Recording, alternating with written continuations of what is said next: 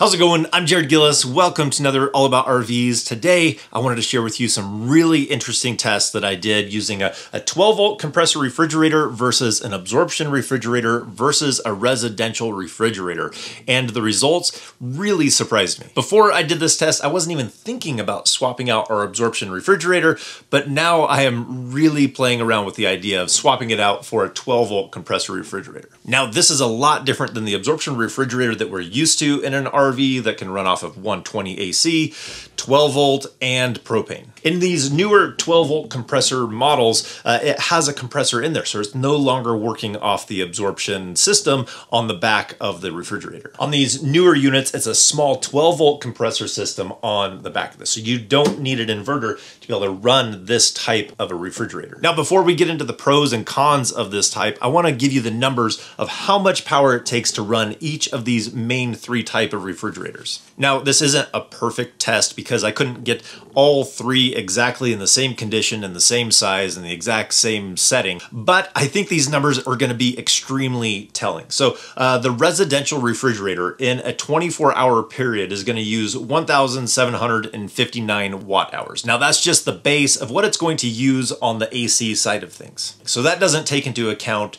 uh, the loss that you're going to have running an inverter if you're out there boondocking. Now, if we're running this absorption fridge on AC power, which we wouldn't do boondocking, we'd switch it over to propane, it's going to use 6,756 watt hours in a 24 hour day.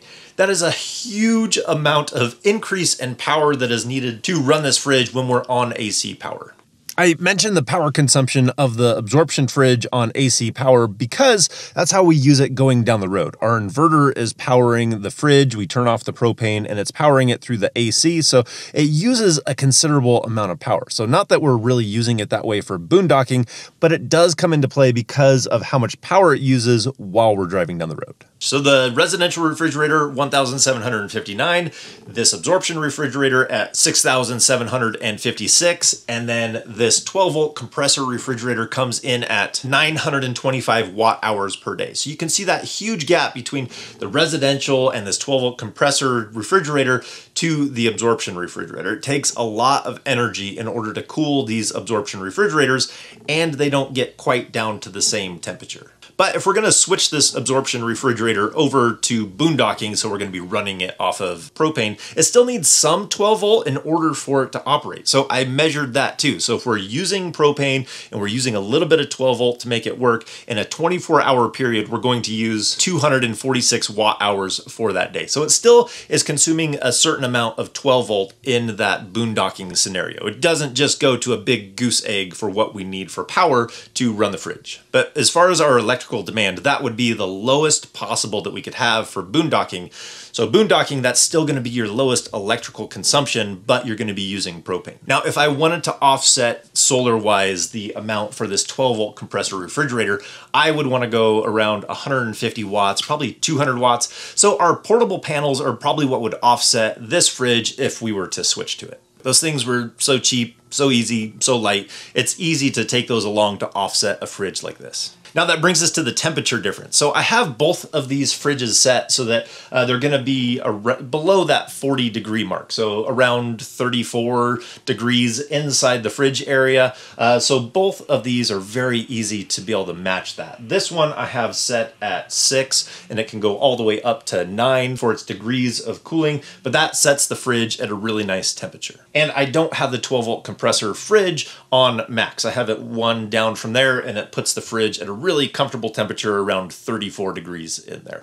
But the freezer in this one, we're usually averaging around 8 degrees Fahrenheit, usually between 10 and 6, depending on how often that door is getting open. And this one is sitting at that lower negative 1 degrees Fahrenheit, usually bouncing between negative 6 and close to 0. So uh, it puts it in that range depending on how often it's getting used. Now that brings us to how quickly these get down to temperature. And the 12 volt absorption refrigerator took two and a half hours to get fully down to temperature And the absorption refrigerator is usually going to take about eight hours. Usually you want to plug that in or turn it on the day before so it can get down to temperature. It takes much longer to work. And the 12 volt compressor refrigerator, I would trust more in the summertime. I don't fully have a test on that because it's only spring right now. Uh, but the absorption refrigerator, when there's sun on that side and you're in the middle of summer, it's going to have a hard time cooling the inside of that because it's all based off of heat. And if it's too hot outside, it can't have the heat and then the cooling where it needs to in order to absorb the heat out of the fridge and make it cold inside. Because the absorption refrigerators need to be vented to the outside, that's why you have a lower vent and an upper vent, and you need that air exchange in there. With this 12 volt compressor refrigerator, you can block those vents up because this one doesn't need to be vented to the outside. So you could try and make your RV a little bit more efficient by not having those vents on your RV. So this is what it boils down to between looking at the 12 volt compressor refrigerator and the absorption refrigerator. I had no plan of swapping out our absorption refrigerator because it's working fine and refrigerators are really expensive to swap out. So this is a 12 cubic foot refrigerator and this one's a 10.7. You can see that this one looks substantially smaller than what the, the space that the absorption refrigerator takes up. So I'm still not sure if I'd want to swap out the fridge because this one requires less power while we're out boondocking, uh, but this one has a lot of other advantages that go along with it. The only reason we got this fridge is because we were filling up propane at an RV dealership and I saw this thing sitting out in the, the bay and I asked if I could film it because I wanted to do a video on 12 volt refrigerators. And apparently it was broken. So they were like, sure, you could have it. So I grabbed it fixed it. It just needed a compressor board and it's been working fantastic. So now that the size comparison between the two of these is so similar, now I'm debating whether I want to switch to this or not. I do have other plans for it if I don't use it in here, but it is really tempting all the advantages with this refrigerator. On a side note, I don't understand RV repair facilities. For them, in their mind, it was easier just to pull this out and put a new one in when really all it needed was a board to be replaced. And it took me a couple of hours to figure that out, ordered the part, put it in, and it's been working flawless. But I hope this video gives you the, the information that you would need to make an informed decision. You can see what the residential refrigerator pulls if you're out there boondocking. It's gonna be a little bit more depending on what inverter you have and the inefficiencies with the inverter and the loss in that conversion. Uh, you can see that you would have no conversion with the 12 volt power supply. It's not gonna be pulling off your inverter just from your battery bank.